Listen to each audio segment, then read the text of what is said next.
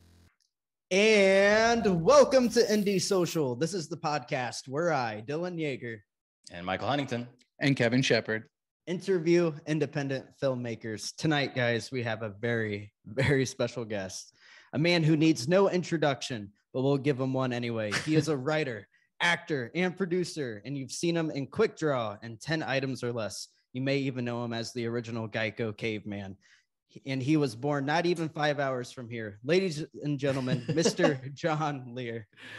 Hey, John Lehr, man. Thank How are you guys doing? Oh, we're doing good, man. Doing Thank you good. so much for oh, uh, my pleasure. Thanks for um, having me. Yeah, oh, absolutely. Um, when Kevin first mentioned to me that he was going to get you on here, I was super excited, man. So, uh, very, very, it's an honor to have you here, and we're we're excited to hear your story, man. Well, Kevin and I go way back yeah. You know, we to the old days, the right. silent movie days. Oh, dang. That's a good time. We were that's both a... carnies together on a traveling. hey, that's, that's a good friendship right there. I yeah. I knew yep. you were a carny. Yeah. Yep. So, you know how we start normally, John? We normally like to ask, how did you get into your acting career? What got you in the arts?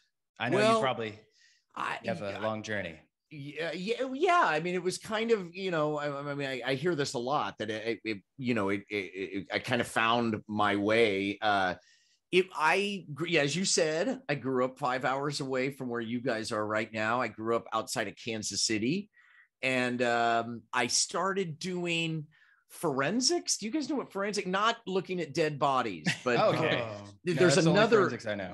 Okay, there's another forensics. I don't know if they call it forensics anymore, but it's like debate, but it's you you do like monologues or duets. It was like acting uh hmm. tournaments, I guess. And I got into that in high school and uh, loved it. It was great. And my I think they call it speech now. Speech. I, I it sounds like they called it. You did like readers theater. Uh, yeah. Like improv, but they called improv. it forensics, which I just do not understand. Anyway, uh, my my teacher, uh, Sally Shipley, who was this amazing teacher in Kansas, um, convinced me to apply to go to college at Northwestern, which is uh, on the north side of Chicago and I ended up going to Northwestern. And in addition to it being cold as you can't imagine, uh, I it also had improv, and um, the school Northwestern had an improv show, and I I auditioned and got into it. Could not believe uh, that I could say whatever I wanted, you know and uh, it was it and and then there, I started I did that in college and then started doing improv in Chicago and was doing this improv show and got discovered by a talent uh, a talent scout from Fox. And she asked if we wanted to fly to Los Angeles to do our show. In Los Angeles as like a uh, you know to show off show you know like a, a showcase. Right. and we were like uh yeah because we were broke and yeah it sounded great. And so uh, at, at, the time was the la dream as big as as it is now was it like, oh, I got to get to LA if I want to pursue arts? Well, we, I mean, we no, Chicago at that time had this incredible theater scene going on. Um, you had Alice, uh, um, you had the Looking Glass Theater Company, which is still there which was uh, run by uh, a bunch of people from Northwestern, uh, most infamously David Schwimmer from Friends. Uh, you had uh, John Cusack's theater company, mm-hmm. New Crime. So there was there was a lot of cool. There still is. Chicago's this amazing place, but at that time it was particularly kind of happening. But there was no money in it. You know, nobody made any money at all. So the idea of LA, while it was like I wasn't really pursuing it, but the idea of, you know, having a chance to make a little money and get health insurance. I mean, we were, you know, you know, uh, so yeah, I mean, it, a version of it was was still there. Yeah. Yeah, no, I your story is very similar to mine, but you're much more famous than I am. but my teacher also inspired me. I love, and I hear this a lot. It's always yeah. the teachers that inspire their students to go chase for acting. That's what mm-hmm. mine did too. Mm-hmm. And uh, I got noticed uh, at a film festival doing a, a, live stage reading of a script. Right. So, uh, so that's it's that's really interesting. But that's I want to go yeah. back to teachers and. I'm hoping my resources are correct, but you used to be a teacher, right? Yes, yes. Well, that's why I went to Northwestern. I guess I I mean, you know, coming from Kansas, you don't really like go into drama. You don't go into theater. Like it's not really a thing. And i so i went to school to be a teacher. I went to school to be a, a teacher and i got my teaching certificate. I, I double ended up double majoring in theater and i got my teaching certificate and i started teaching during the day. That was my day job. I substitute taught in Chicago uh, public schools in some really, you know, crazy tough neighborhoods. And then I ended up teaching full time for a couple of years. But uh, I was doing theater at night and, you know, that's what I that's what I lived for, you know. Was it hard to kind of live that double life almost where you're oh like teaching God. and then also doing that? I imagine a lot of lack of sleep almost. Oh, yeah, and I was on drugs at the time too. So I'm like partying until, you know, you know, 5 in the morning and then showering and going in and teaching and then coming home and napping and then getting up and going to perform and then doing it all again. See, and, that already uh, already yeah. seems like a movie plot right there. Yeah, you know? there you go. that, that sets it up as a good film yeah it was it was intense but you know i was in my 20s and you know it, it, it, that's what it was. How what long were you teaching? I ended well i taught in chicago for about i four years and then i ended up going to la and then i had this kind of you know we we you know we got discovered you know we signed with a big agent and we ended up getting a holding deal which is where uh, nbc gave us a $15,000 holding deal. And uh, my partner and I, and I, uh, which was more money than I, you know, ever seen. And, uh, and and so I, so I explain you know, a explain a holding deal for people who don't know what that is. Okay, they really don't have them anymore, but at mm. the time, uh, they, they would a network would pay you not to do anything else for any other networks until they figured out what to do with it. Wow. Okay. So yeah, basically, you got they had 15, you on retainer. I, right. So yeah. for six months, I, I got paid 15K to do nothing. And, uh, and, but then after that money kind of ran out and, you know, uh, I ended up substitute teaching in, um, South Central, you know, and, uh, you know, a lot of my stand up, I talk about that. And yeah, it was, it was, uh, it was a so wild how, time. How long were you in that holding? Um, what, what holding? What was it? Sorry, a holding uh, period. A holding period. How long were you in there until you were able to start getting some um, good gigs? Well, we it, the the holding deal ran out. They couldn't figure out. We pitched around a show, uh, and and we couldn't sell it, so it, it ran out. And then we ended up getting cast on a show on E, the Kardashian network and uh but it, this was before the kardashians and uh, they were trying to do a late night comedy show making fun of the news and they called mm. it news weasels. Wow. And it was just terrible. I mean they they had really good intentions but they just couldn't quite pull it off. And and and they didn't have they didn't have the news feed. They they they thought that they had purchased uh, the news feed from I don't know, maybe it was ABC's news feed, uh, so that we could use that footage to make fun of. But they they screwed up somehow, and then we couldn't use that news feed. So this was during OJ. okay, and, yeah, back in the day. yeah, and and we couldn't talk about OJ because they didn't have any footage of it that we could talk. I mean, we could talk about it, but we couldn't right. show anything. So it was it was pretty miserable. And but, you said that was a live show. It was it, uh, it, that one was live to tape. Um, but yeah, it was you know live to tape, which from our point of view was the same. You know, so like yeah. like the way they do the Tonight Show and and everything. Right. Yeah. So um, when you're doing so, I, I'm just curious at like what point so you you got you got out of this holding deal and you were sort of doing like that that was your first big gig in a way yeah um how what was it like? Was um did it stop after getting that first gig or did it just start snowballing until bigger gigs or what no, was that like? god no.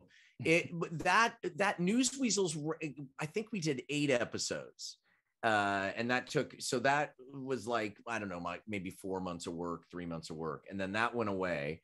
And then i did a couple of gigs. I i did uh you know some tv stuff. I ended up doing um uh, Noah Baumbach's uh, first three movies, Kicking and Screaming and Mr. Jealousy and um, and Highball, and and then I and that's when I started to discover that I could write, you know, because improv and, and improv and I, I wanted to do improv, but there there's no way to make a living doing improv. There was no Curb Your Enthusiasm or any anything like that, or Reno Reno 911 might have been around. Anyway, there wasn't much.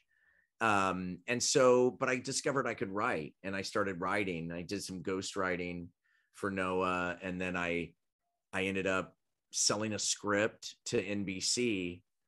Um, but again, I was on drugs and drinking through all of this. so it wasn't until, you know, 96 that I got sober. You know, I got arrested um, for possession of narcotics in uh, Ventura County, where you go on vacation, leave on probation, and uh, and so that led to me getting sober. So think you know so there, so i kind of had you know so i went through a lot and and then coming out of that was when i i, I got an episode of friends mm-hmm. uh, and then i ended up scoring the show called jesse starring christina applegate Yes. Yeah. And uh, so was was that your sort of like your big breakthrough mm. role almost? Yeah. I mean, it for money wise, it it's it just totally transformed me because then then I had enough money to only do what I loved. You know, I didn't have to work a day job anymore. Mm-hmm. And and that and I paid off all my student loans and you know, it was crazy. It was crazy network money. Uh, even though it was just one season, it was 22 episodes, and I made a shit ton of money and and and paid off a lot of debt you know and, and now was, you were sober so you got to enjoy all that money almost that's right know? i was really smart with it um and uh you know put a lot of it away and and but but really it just gave me the freedom to now do what i wanted to do um, so then around the 96 time or maybe it was it's actually a bit before i'm a huge fan of uh, kevin smith right and yeah. I, I, love the fact that he's very independent and he made his first film sort of yeah. very independently so yeah. when you got this big role and you made this money were you being the creative that you were did you ever think i'm going to go out and like make my movie now yeah, I mean, what? Well, I always wanted to. I did end up directing a short film, and that was my first sort of uh, getting into that world. But I always loved TV. You know, I always thought TV was was so exciting to me because you could develop these characters for you know you know hours and hours and and you know seasons and seasons and that so that already always sort of excited me and and there was a a live factor to television at times that I found exciting. And I loved that from my theater days. So I pitched, and it's just kind of where my career went. I mean, I did those films for Noah, but I wasn't like in the film scene. I ended up doing, you know, movies. Um, but at that time, I was just kind of following, you know, what was being offered. And, and I, I pitched a, a show to Fox, an improv show that I produced and starred in. And that was like the beginning of kind of figuring out uh, how to how to do this uh, this sort of what they now call sort of hybrid scripted improv uh, television. Um, yeah. I'm curious to how uh, and did you direct any of those episodes or were you just writing those episodes? No, I pr- I executive produced and wrote and starred. My okay, partner then- Nancy was my oh. co-writer and then she okay. directed. So yeah. Sure. Yeah. I would love to know the planning of that. Um we we love like to uh, so i mean obviously we're on an independent route. Like planning is i assume much different than what it is like on a bigger scale. What kind of work goes into planning a big series like that? Oh my god. Uh, so much. And like I how mean, many months before you even start shooting not as many as you'd think. I mean, okay. we get like because because they have to pay. You know, people everybody has to get paid, right? So um, you don't want to pull the trigger on the writing until uh, the budget comes in, and you you got to as much as like um, uh, you know uh, I think let's see how much was it? I think uh, ten items or less was I think it was like $850,000 an episode, which sounds like a shit ton of money. Right. It's not at no. all compared, especially compared to today. Right. But um, once you break it down, because it requires a tremendous amount of people to make something where you have to, a machine where you have to make it every week and keep it going. And it, it's a crew of 100 people and you have to rent the location and insurance and, blah, blah, blah, and pay everybody. Uh, you know, So tends to be pretty you, stressful, I'd imagine. It's very stressful, and once you pull the trigger, it's just like a sprint to the end. Um, so, so yeah. then do you do you get those moments of being able to enjoy it though? Or much like me, I hate the process of making stuff, but the moment that you get to watch it when it's done and it's edited is probably the best experience of making something, you know, when it's over almost. Yeah, I mean it's weird because you you do mostly film, right? Right. Yeah. So okay. So it's a slightly different thing because by the time I'm watching it, I've already lived with these episodes for so long. So by the time they air, I'm already focused on season 2 mm-hmm. You know what I mean? Yeah. So for I think for television, it's slightly different in that the the most fun is on the set. And okay. when you're on the set and you're actually making it is when it's the most fun. It's very stressful. Mm-hmm. But um yeah, that's probably when I'm happiest. I mean, post is really fun too, especially for what we do because we write in the in in the edit room okay know, yeah because it's all improv we're cutting it together and and putting and creating it there but it's it's also like long hours and it's you know you guys know mm-hmm. editing is uh so I mean, editing is where also I get the most enjoyment yeah. too. I feel like editing is when everything comes alive and you're able to almost fix some of the stuff that you weren't able to do on production and right. find out new creative ways of making something true uh, more funny almost. Yep. yep. Yeah. I love editing. Uh, so did you have a big say on how stuff was getting edited then? Oh yeah, I was the executive producer. So we, my partner and I were the showrunner. So okay, a showrunner basically means you are in charge of everything. You, the network said it's our job to come in on time and under budget. mm-hmm. you know, it's uh, you know, you you are the the captains of the ship. So going uh, back to uh, Quick Draw, um, and you that whole series was improv, right? Right. I mean, it, it, we would write scripts, really detailed scripts, really but there wouldn't be any dialogue in the scripts and the mm. actors would never see the scripts. Oh. So, yeah. So now I saw it because I was in it and I wrote it. Right. And Nancy, who was directing, uh, saw it because she wrote it, and the crew had all seen it, and the executives had all seen it. But the actors would just show up, get in costume, get in makeup, and come on to the, you know, onto the uh, set and you know it'd be like okay this guy is drinking and you don't like him he's your ex-husband or whatever go. And, and do you guys give the actors like the freedom? Like if they come up with something bizarre like you keep it?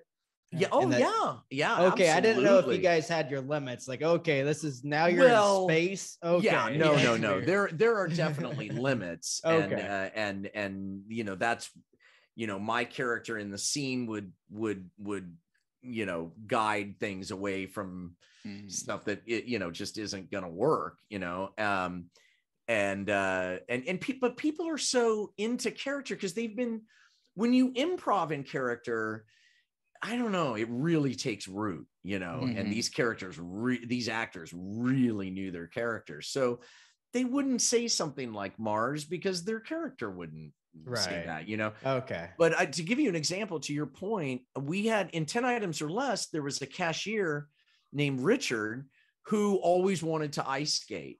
And, and he he brought that up. We didn't write that in the script. We never said anything. He brought it up in an improv, and we were like, "Oh my god, that's great!" So we ended up writing an episode where he you know auditions for the ice capades you know and, so tell me the blocking of that almost. So if it's an improv show are you guys creating shot list if nothing that you really know is going because it's really based on the performance right? So it's like all right this guy did this so now we need this close up of this. Like how we, is the structure of that? We would sh- first of all we would roll three cameras sometimes okay. four. Oh, and, okay. and so you would have a cover shot and then you'd have a roving single and then you'd and then we'd always keep one single on me because i could uh cover for things mm. uh and then you'd have a fourth camera that's picking up whatever you know uh, you, you know so and then after we would shoot we would go in and you know get a few cutaways so in case we need but we didn't use them that often to be honest with you mm-hmm. so um yeah it, it so but it was lit so the, so the scene okay guys you can't go past here mm. you can't go mm-hmm. past here So yeah. kind of give them boundaries so they don't mm-hmm. cross them, but like mm-hmm. kind of give them that free field to do what they want to do for a better performance. Right. That is awesome, man. That, yeah. I, and I don't know if that's a trend now that happens more. Like, were you sort of, sort of the pioneer of that in a way? Well, there, okay, so there was Reno 911, right, which was similar but but different from us in that I'm a fan of Reno 911, mm-hmm. but it's mm-hmm. different in Absolutely. that it, theirs was more single camera and less concerned with a episodic story narrative. You know, right. it was more like kind of a little bit more sketchy, you know, which was because mm-hmm. it was based on the show Cops, you know, it was making right. fun of the show Cops. So you could right. go from here to here to here. I mean, there which, would be through lines, but which not... is sort of like the the genre of mockumentary almost is sort of right, yeah. when The Office and Reno 911 yep. was sort of at their prime. And then looking at some of the footage from 10 items or less, was The Office sort of any inspiration at all? No, I mean it. It you know the the office in the states had not started yet. Oh, okay. Yeah, so we yeah. were big fans of the British Office. Sure, so that yeah. yes, that had some influence, but even more than that was Spinal Tap. Spinal Tap was probably the most influential thing for me in terms of the mockumentary and using that uh, aspect. I just thought that movie was you know at the time no, we nobody ever seen anything like that you know and that show that movie was was very improvised um you know the the office was not improv you know it was shot like it right. was improv but it right. was fully scripted and mm-hmm. occasionally you know they'd go long on a take so sure it, eh, that wasn't really we felt like we were doing something different but but I'm sure we were influenced by it. You know, it was on. I mean, how could you not be? I think they see they, like the famous slogan is "Great artists steal" in a way, yeah. right? You know, you you take inspiration almost from anything to make something new in a way, right? But The Office wasn't did not get great ratings. You know, it's it's later after the fact that The Office right, that kind of kind discovered. of gained that cult following of what mm-hmm. The Office is now. Yeah, the kind because, of t- the take on The Office at that time was, eh, it's okay, but you should check out the British version. That's the right, good one. Sure, yeah, okay. you know, that was kind of the you know, the and inside. the British version didn't even end up running that long, right? No, he because Ricky Gervais he does is very into you know start and stop and sure. and moves on. He doesn't try to like prolong stuff if he doesn't feel it needs to be. Mm-hmm. Or any of his projects, I don't think. I think they're all. The, eh, the, his contract is look i'll do a different show for your network but this one is only going to last whatever three seasons or that's kind of the british model which is pretty it's a pretty good one yes. So yeah. I really like how you came back to improv. Like you started with improv and then with your with 10 items or less, uh, you started doing your uh, improv again. Do you, as an actor, when you get a role, do you kind of ask a little bit if you can have some creative freedom? And since that's kind of your roots, I mean, most of the time, the stuff that I get offered, people know my skills. So it's being like uh, the Geico caveman, for example uh, the guys who were directing uh, the commercial, the first one, um, knew that I could improvise and they wanted that kind of vibe. So they wanted to get the lines and then they wanted me to do a bunch of takes that were improvised. And uh, so, yeah, I, you know what I mean? I get that kind of people know when they're hiring me that that's kind of what I do, but I'm very respectful I mean, some scripted people do not want you to dick around with their lines, and right. um, and I I don't when it's when that's the job. Right. Yeah. So, so, I'm super interested, and we, we brought up the Geico caveman, which is what I know you like from. I mean, like I, I knew you from Ten Items or Less, but when um, Kevin told me that you were the caveman, I was like, holy yeah. shit, that's the caveman. Yeah. So I mean, it was time, huge. It was yeah. at the time, massive... was it as like was it huge, or did it sort of gain like? The love that it got or was it like pretty much like right from the first commercial was like oh this is legendary almost I, you know the first commercial I didn't even know what it was. I mean, I was just messing around. I, I, I thought it was just a car insurance commercial, and I was this weird, you know, uh, caveman in a costume. Yeah, right. yeah, who's like, you know, uh, metrosexual and you know, sort of intellectual and sensitive. Um, and and and I did that, and then they called me to do another one, or maybe they no, I think they were shooting four off the bat, and I did the first one, and then when I came to do the second one, by the time the third or fourth maybe was happening, my wife said, "You know, I think this caveman thing is a big deal. And I was like, really? And she Googled it and it was just like, you know, it was just like, oh my god. I, I so then you really... weren't necessarily aware to how like viral almost before being viral was a thing necessarily, right? Yeah, I mean, it, it, it, yeah, exactly. It, but then it became crystal clear right away. I mean, I got invited to the Oscar. I mean, it was crazy. It was nutball. It was so nutball. I did 25 national spots, you know, which is like that's crazy, ridiculous. man. See, I didn't even know like how big that was. I mean, obviously that's what I remember you from the most. Yeah. But like that is crazy how that went on to be such a huge thing. Oh my god it's still going. I just did um i i uh, i can see your voice on yeah. Fox. yeah yeah yeah. Yeah i was just about know, to ask you how yeah. was it coming back as the caveman after all this time? Oh I, you know it's totally fun because you know it's the same guys that do the makeup that we we've all known each other for years and yeah it's a blast. It's you know it's great job. I mean i'm the most I get to do I get to be this, you know, ridiculous character and, and nobody knows it's me. It's it's fun as hell. It's almost like the definition of improv, man. That's it like is. living, you know, as the character. Yeah, and so, they let me improv all the time on the all, a lot of those lines and a lot of the stuff that made the commercials what they were were improvised and I'm sure that like they got more lenient on it as the commercials, like as you sort of became the characters, like, oh, John knows what he's doing, man. We'll just let him kind of do his thing almost. For right? sure. For sure. Yeah. So yeah. I'm super interested in uh, Quick Draw, and um, that that became a Hulu original, right? Or no? Yeah, yeah, it's still on Hulu. Yeah, uh, yeah, and uh, yeah, we ten items or less had this kind of cult following, still does. Yeah, and Hulu had was running reruns of it on Hulu. Oh, okay. And it was getting great numbers. And so they reached out to us and said, uh, hey, uh, uh, you know, is there anything? Are, are, you guys? Would you guys like to do something original for us? And we were like, uh, yeah, mm-hmm. yeah, yeah. Like, and, why not? it's uh, Hulu, man. You know, right? And um, we had just done a limited series for Sony. Sony was the studio on ten items or less, Okay. And Sony had asked us to do a limited series for their portal uh, called Crackle. Oh, um, I think that's why I watched 10 items or less was Crackle. Probably. Yeah. Yes, it, okay. it bounces back and forth between Hulu and Crackle. Okay. yeah, yeah. That's, uh, it's absolutely right.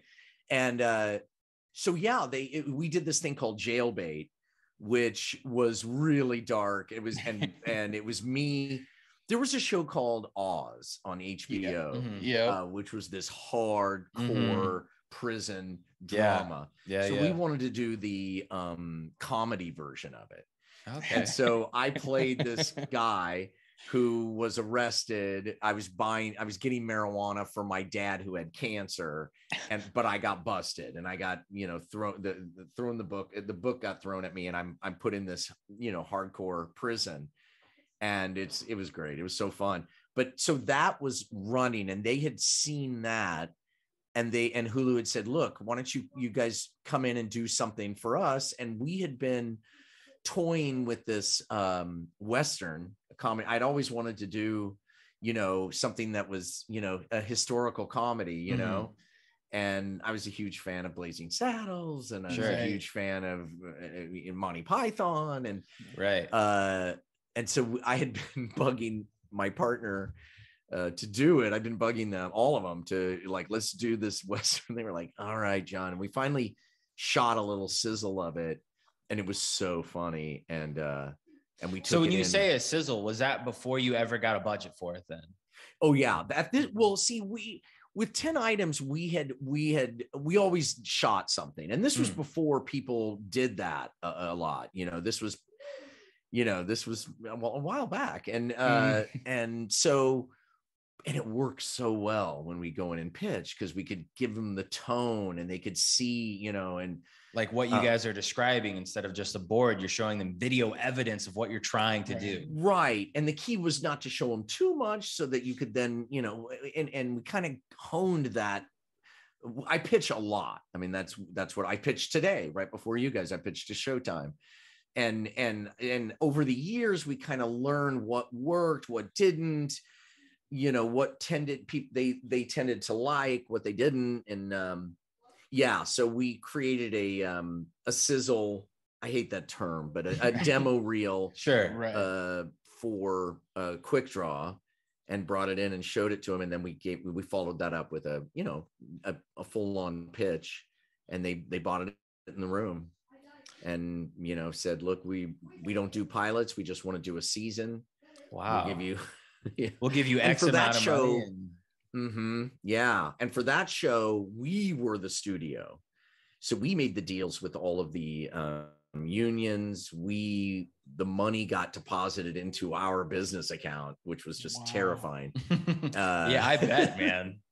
Yeah yeah, yeah, it was pretty crazy. So you talk about pitch and sort of like, so how many, how is it at, was, at first, was it scary pitching? Like, was it almost all or nothing? And if you didn't get that, that pitch and you didn't get it to sale, were you almost like discouraged? Were you like, man, I don't know what to of do next? Course. Or, sure. Yeah, but it's also a lot of fun, you know. You're like, you know, you're and it's improv, you know, mm-hmm. basically. Mm-hmm. You're going in there and and and presenting something that you really care about um yeah i mean yeah it is do or die but it's also about finding the right home.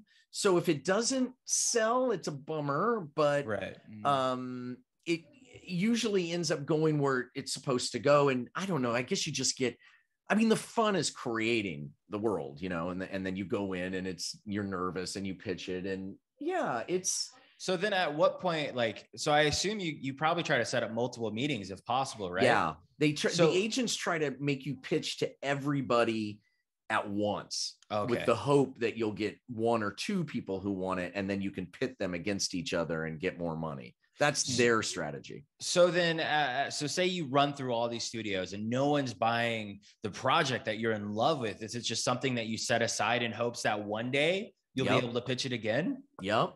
So is never that heartbreaking, man? Sure, it is. that sounds so like like it's like scary. writing. I mean, writing a screenplay that never gets made. It sucks, you know. Yeah, but it, yeah. you know, what can you do? It's part of the um, game, right? Yeah, it's part. Of, it's your job, and and you know, the thing is, is that I, I, like you said, it never goes away. I'll give you an example. We shot a little demo sizzle reel for this thing that was set in a um a, a, a club and eh, you know we pitched it around and we almost sold it. I don't remember but we all we came close but it just didn't go. And cut to a few years later we were in a general meeting with mtv and the exec I mean, it was like casual. We were on our way to the airport. We were in a coffee shop and the executive goes what do you got? We're looking for this. And i was like well, we've got this thing, but I don't think it's right for you, but it's kind of right. It's kind of what you're talking about. And he's like, well, what is it? And I go, uh, we were, we were like, uh, we don't know, if, uh, you know, if you're going to like it. And he's like, well, send it to me. All right. We'll send you the deck, you know, the uh, Bible deck, on yeah. it and mm. the, and the sizzle reel. We didn't even pitch it. We sent it to him. We are like, it's not what you want, but maybe it'll spark something. And he, he bought it. Our agent called him and said they want to do it. So we never even had to pitch it and this was wow. years later. And I assume that's probably a rare case, right? Like that doesn't happen very often, right? Yeah, yeah, that one. Although, uh, yeah, that it is rare, but it does happen. I mean, we pitched a show to HBO, and I was so depressed after the pitch; it just went horribly. And I said to my wife, I, I don't know, man, if I can do this anymore. And and for and six six months later, they called and said we want it. That's then, crazy, man. I know. And then we ended up doing it for HBO. It didn't go forward, but you know, we got paid to write it and you know, it was right. a gig. Yeah. And so, I mean, in that you just keep fighting for those gigs. I mean, even now you're still, like you said, you were just in a meeting, man. You yeah. keep going and going. Um, oh, yeah. And and that's so cool and motivating and I, I mean you speak often of this team that you sort of assembled and yeah. was that over the years that you would find these people that you really meshed with and you're like all right yes. i want to work with them more often what what was that like sort of assembling um, your avengers if you will i um you know there are just people that you i'm very loyal you know and if somebody uh, works on a sizzle reel for free as a cameraman, I'm going to hire him, you know, because yeah. that's just the right thing to do. You did it for free. So we get the gig, you get the gig.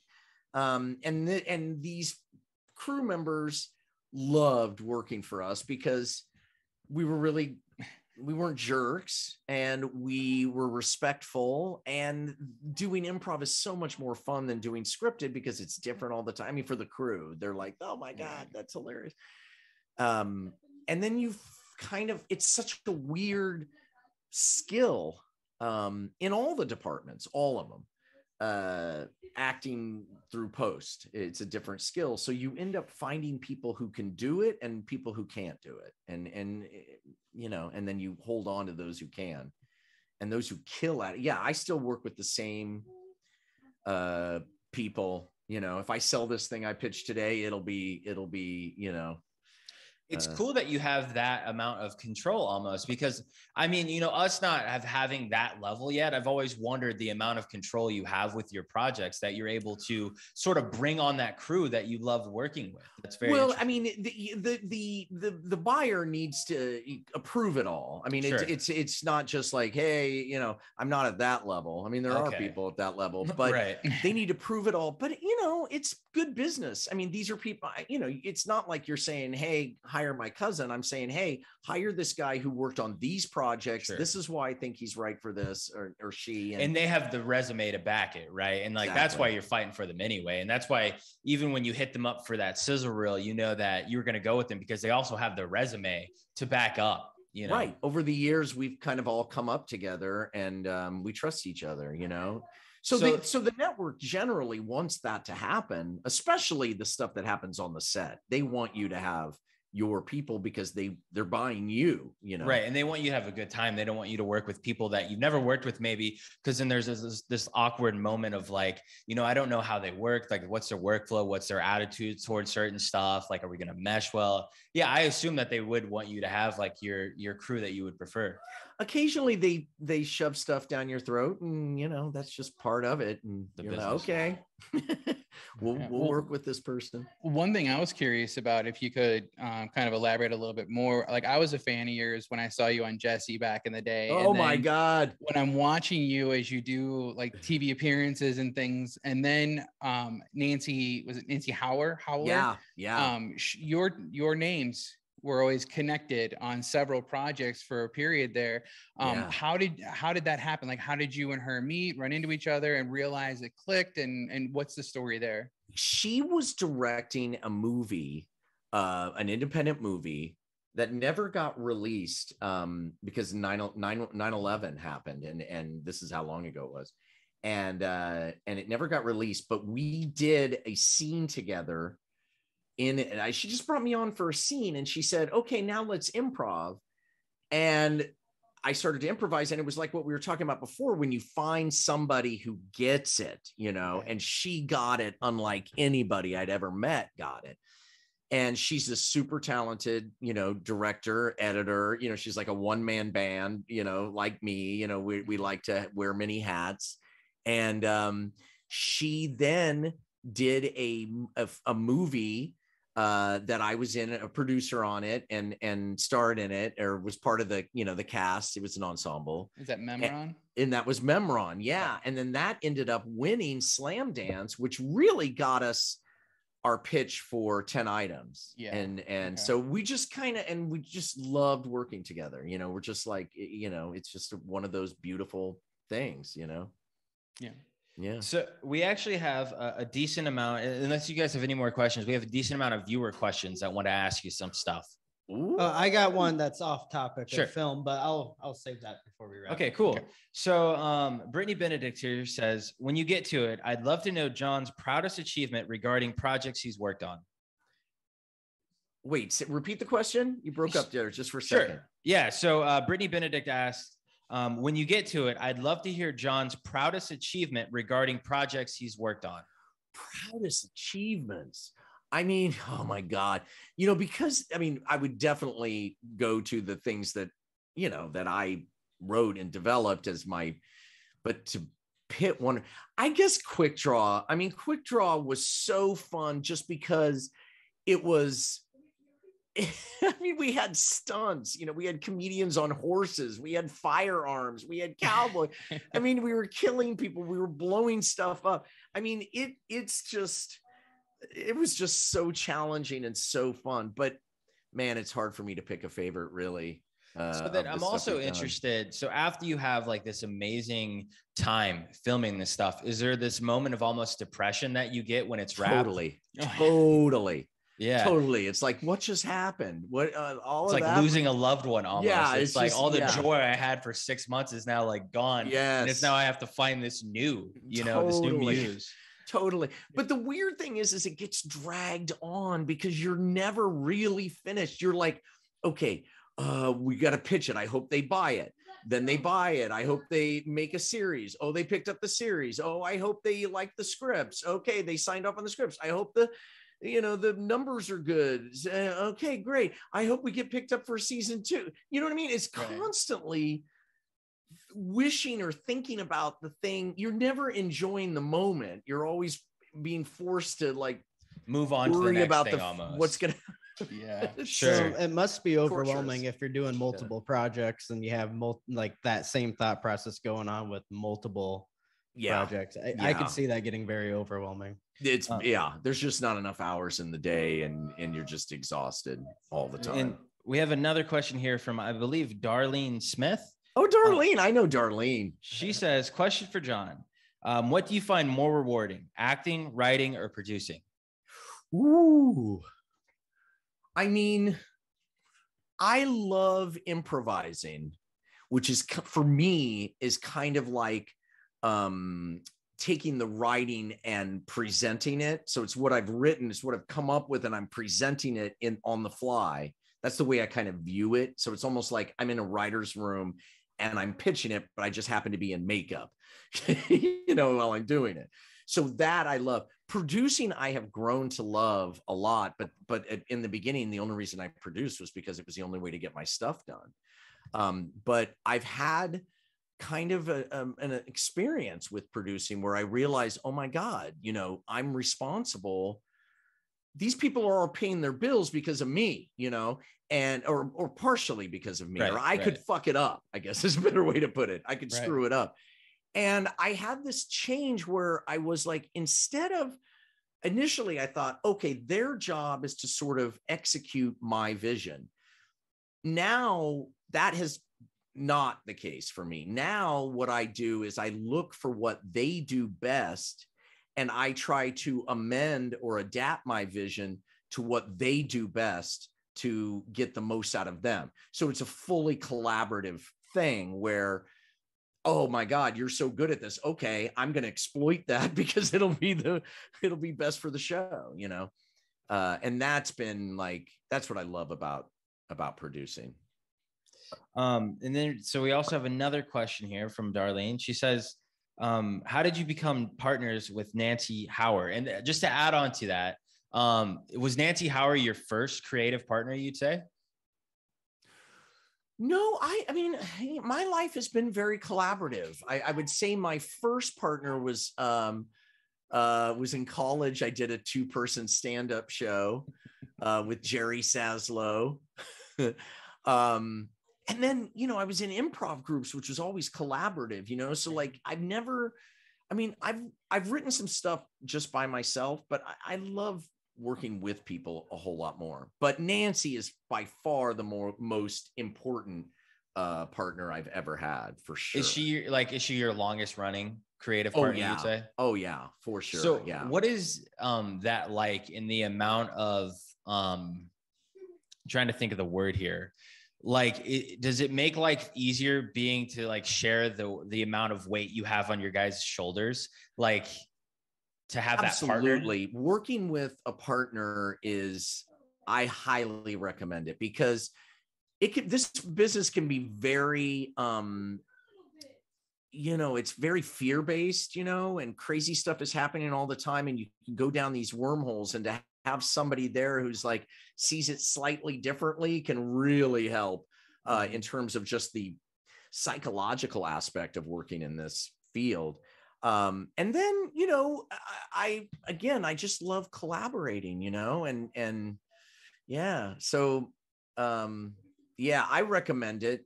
You know, um, it, it's so, it's it's collaborating for, with us and our team like um we always have this thing like we never try to um like unless we have our hills to die on that's what we say like we never try to we always go with who has the best idea like we never try to have too much of an ego right unless yeah. they have this hill that they're dying on that they're like no this yeah. has to be it do yep. you sort of have a similar workflow with your partners like that like no yes. this has to be it yes i mean all the time and and and i'm wrong and you know and it's like a marriage you know it takes constant communication and attention to people's feelings and you know and if, and once you give up on that then you're you're cooked you know once you stop caring about each other then you're cooked. Yeah yeah definitely. Um we have another question here. Um ask him about the fans trying to get hulu to sign on another season. Um we all sent this company ginger snaps. Yeah, when Hulu, when uh, when uh, Quick Draw was canceled, there was this huge, there was a, there still is this huge, um, or, or you know, um, uh, uh, uh, you know, fans that love the show and uh and when it got canceled my character loved ginger snaps in in it. So they all started sending boxes of ginger snaps uh to hulu which was so awesome. I mean they're just incredible. I mean that's why i do it, it for to have to be in contact with people like that. I love that you know? So talk a little little bit about um when something gets canceled. Like are you well aware of that before the show ends, or is like the show ends, they run their numbers, and then it's something that can happen that you get canceled? Yeah, that's really what it is. They'll they'll finish it off and then they'll make a decision whether they're going to pick it up or not. And the, the kind of classic time period to do that is usually at the upfronts, uh, which is where the networks present their new slate uh, to the advertising agencies. Um, that's when you'll learn. You either go to the upfronts, which means you're picked up, or you don't, which means you're canceled. You know, um, some uh, executives will call you and and and say, you know, hey, I'm sorry, and and but a lot of the times you won't hear anything. You'll hear it from your agent later. You know, they won't even wow let you know. Yeah. So and then at so, that uh point, uh, are you already writing a second season in hopes no, that no, okay. I mean, but but but yeah, of course you're thinking about it. But yeah, sure. you you you you learn the hard way not to get too into it till the trigger's pulled. Uh, okay. Uh, because you know, then it's even harder. But you can't help it. I mean, I I could pitch a third season to Quick Draw right now, you know, mm-hmm. uh, because I've been thinking about it. Um, but uh, yeah, it's it's it's brutal. It's brutal when, especially when it's your baby. When you're an actor on a show, it's a bummer um, but it's different. It's different. Um, let me see. Uh, we have uh, another question here. Um, who would you like to work with in the future? I'm sure you have a laundry list of that, right? God, yeah. Oh my God. Um, or more so, have you had that moment where like, I really want to work with this person, and you got that opportunity? Has that happened with yes. you yet? Yes. Oh yeah, many times. Um, I I'm trying to think of the like the top one. Um I, well I I mean Jesse I worked with George Dzundza and he was in uh Deer Hunter and I was just like oh my mm. god I can't believe I'm um Eric Stoltz uh was in one of the first movies I was in and I loved his his career and and and and all of that. Um I worked I mean uh Christina Applegate I was so into you know uh, the family. Uh, what was the show? God, um, I'm uh, the Fox show that she was in. I mean, I Married with oh, Children. Married with Children. Justine Bateman. I worked with her, and I was a big fan of hers. Uh, um, Jack Black, oh, amazing. Yeah, you know, amazing. Um, yeah, so many, so many. Yeah, I bet it's hard, and it continues to grow. I imagine yeah yeah and but but but just connecting with anybody and you know just an actor a journeyman actor you know uh mm. where you're like oh my god this is and it happens in improv so much bob clendenin why haven't i said bob clendenin's name uh, he uh, has been he was in he's in everything that that uh, i've produced and um he's just this amazing actor who's just always good always. yeah, and you just keep them on you, man, because you know that all right, this guy's gonna be perfect for this role, and I already know. Right. I write roles for him. I build yeah. shows around him. I mean, he, you know, we've we've created stuff for him because we know his talent will make money for us. so then uh, exploit him. Being a producer then and, and, being an executive producer, I imagine you have that call on casting. Yeah. Yeah. That's so a big talk about um, what is it like to tell a fellow actor or to let a fellow actor know that they maybe not have got that role? Is that hard on you personally being in that position? Oh, for before? sure, for sure, for sure. Cause we're, I'm an actor. So right. I know, I mean, we're, you know, we're so, I'm so codependent uh for actors who are auditioning and because i know what it's like yeah. and and so i usually improvise with all of them in the scene and and do my best so much a part of successful improv is making your partner look good mm. and that's really my focus most of the time um and so yeah but it's brutal i mean you know actors don't want uh to you know a big deal being made out of them not getting the part you know mm. you know you know uh more more often than not and and when it's just you could you could come in once maybe twice uh, maybe three times if it's for a, a, series regular. Those people we would talk to and say, "Listen, I'm sorry," and you know. But somebody who just comes in once for a right. guest spot, you know, the casting director just tells their agent, and that's probably for the best for everybody concerned because it's just like, okay, whatever. I, you know, it happens to actors oh, dozens than, of times yeah, a week. but the thing I love is when you cast somebody as a series regular and they have especially if they haven't ever done anything anymore it, before and mm. i love calling them i'll call them right you know and i love that moment that is the best it's the best yeah i mean i can't imagine man because like uh, yeah i mean because sometimes it's just like it's one of the like the bigger roles they've been in so to be able to get like oh to let God. them know you know like hey man you're in this like there's an actor on 10 items uh who had never done anything before and I called his home to tell him, and he was living with his parents still, I think, or family. And and I, I called and asked for him. Greg Davis, by the way, who played who was in ten items or less. He played Buck the Bag Boy. Who was this, okay, and it was yeah, his yeah. first gig. He was a great guy, and I called his home, and his cousin answered. She said, "Oh no, he's at work. Uh, would you like that number?" And I was like, "Oh no, just tell him."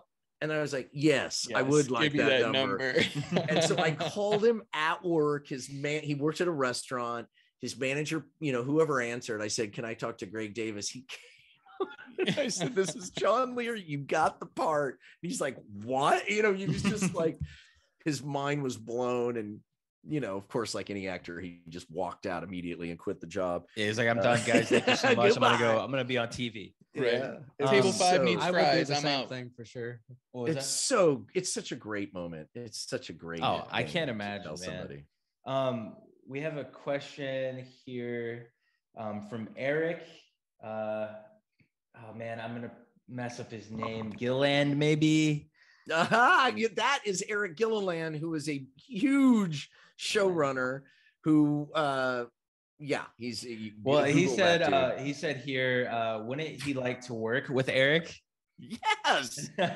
Yes eric i would. uh, and then uh shannon i believe is like are you friends on facebook? He's like no we're actually friends. So they're having a little debate here so i, I uh kind of uh i eric Eric Eric Gilliland it, it was uh, has I mean you, his IMDb page is incredible. He was on Rose. He ran Roseanne. I mean he was you know he's huge. Yeah, huge, yeah. huge, huge guy. Um, but what I know Mm-mm. is that he's a great improviser. And yeah. uh, I want to get him. I, I don't want him for a show, although yeah, but I want, sure you take him. I've been trying to get him on camera, so and one day I will be successful. yeah, um, he's amazing so recently you you brought it up that you were on um that that the voice show. I'm sorry, I'm forgetting the name. Oh, I can see your voice. Yes, I can see I had never voice. heard of it uh, until um, I was um, on it. So uh, Millennium Night here says your singing talent was unexpected. You gave it your all. Yes. yes. So was there any training into that? Are you a naturally are you naturally good at singing? I'm not sure how I'm supposed to talk about this. I mean, because it's a, do you know what the show is it's it, it, people go on they sing right. and you try to guess whether they're really singing or they're lip syncing oh right so should yes. i say what happened maybe I mean, not. it's already aired oh it has aired know how to handle this stuff i don't okay. i anyway. think you should save that beauty for the people who get to see it for themselves yeah there you go yeah we won't spoil that millennium night yeah, you'll have yeah. to check but it out. was a blast and I, it was as the geico caveman so it, it was a yeah. blast it was a blast Yes, um, phenomenal job. so uh, I'll, I'll let you do your question, Dylan. Sorry. Yeah. So I found something interesting about you on the Uh-oh. interweb. oh, that, that's everyone's favorite sentence. I found something interesting about you on the internet. Sure so, is. You found out about the porn. Listen, Uh-oh. I was broke. I need. We'll actually have a link down in the description if anyone wants to check that out. Trust me, nobody's. John starting his OnlyFans soon. Oh, I'm looking at the wrong thing. This is a question that I wrote. I was like, where is it? All right. So yeah, you signed on as a supporter for Alley Cat Allies, which is a nonprofit advocacy organization dedicated to transforming communities to protect and improve the lives of cats. Yeah. And you joked as and you joked saying, as a fertile fertile human, I feel deep for a deep connection with these animals. So yeah, tell me more about your love for cats and what this organization. Listen, the only so person much. who doesn't love a cat is someone who's never had one. Once That's what I'm saying. A cat, yeah. they're awesome. Uh, so you know that that's the thing about that's I and I now I don't have a cat. I have two dogs because I live near Griffith Park and there's coyotes, so cats don't live long in my neighborhood. Yeah, so it would have to be an indoor cat which my son is making a play for, but I know what goes on at this house and people don't close the door. You know, the cat will get out and then the cat will get get eaten and I don't want that to happen. But yeah, that'd be tragic. But I had a cat for many, many years who I just you know, just we got through a lot together, me and that cat. Um, and Alley Cat Allies is this great organization that you know helps to um, you know get fix cat cats so they don't uh you know so that and helps with helps getting them adopted and they're amazing. And um becky robinson who's um the person uh behind alley cat allies is um uh was an old friend of my mom's too. So okay. there's a double connection there. Sure. My son's coming in. Hey what's up man? How you doing? We're Hi. live on uh uh soon soon. We're getting yes we're, like, he doesn't care. He's like when do you get off yeah. So as we get close here to wrapping up, Dylan likes to uh, end it with a certain question. Yes. Okay. Uh, so if you could go back in time to the younger oh. to a younger you as a kid, what kind of advice would you give yourself? It's gonna be okay. It's gonna be okay. You know, uh, and you don't have as much say in the matter as you think you do. So it's it's not about it's about working hard, right? But it's not as much about climbing as it is about kind of finding the flow and and and getting in the flow and going with it, you know, rather than feeling like you have to go battle some, you know. Um I my but I know my younger self, he would never listen to that. I'd be like, uh huh, yeah, old man. Yeah, thanks. Anyway. Well, John and, uh, and make out and and and have fun before you get old. Don't turn into like I have these friends and in, in they're in their 50s. They're like, God, I wish I'd partied more, sowed my oats more when I was young. And I'm like, not me. I did it all, dude. man. What the hell yeah. were you doing? I was listen, I was doing everything. So if, I had the if, throttle if down. Twenties right now. Don't be playing it safe, man. Go out no, there and live. Do it all. do it all. Yes. Get well, John, with it. Um, thank you so much for coming on here, man. It's it's been a true pleasure, and I think it's very inspiring for people like us who are just starting almost in the industry. You know, uh, learning yeah. how you pitch, learning how to create that team. Yeah. It's very motivational, man, and we appreciate you coming on here and speaking. My pleasure. My pleasure. You know, people did that for me, and listen, we're all we're all in the same boat here. We just it, it's not you know, there's room for all of us, and making stuff is it's amazing, isn't it? It's it's it fantastic. It's yes. the best. Yeah. So, John, as we wrap up here, where can people find your work if they don't already know where it's at? Uh, johnlehr.com is probably the best place to go. J O H N L E H R. Uh, why it's not pronounced John Lair, I have no idea. My hillbilly family pronounces it John Lear. Uh, but that's and then from there you you know I'm on social media and stuff, but johnlehr.com is probably the first best place to go. All right. Well, again, John, thank you so much. Um, everyone, go check out John. He does great work, and I'm sure he's working on more stuff that you'll be seeing soon. Remember, Hopefully. it's so easy a caveman can do it. There you go. That's offensive. oh, oh, I'm so sorry. I'm so sorry. All right, guys. Until next time, this has been Indie Social. Uh, we'll see you soon. Peace.